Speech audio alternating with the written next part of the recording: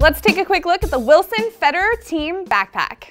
Perfect for the Fed fan on the go, this backpack will easily carry up to two rackets in the back racket specific compartment.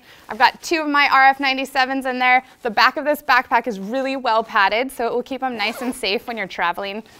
Then the main compartment of this bag is quite large. I've thrown a pair of shoes in. As you can see, there's lots of space for the rest of your gear and some organizational pockets right here.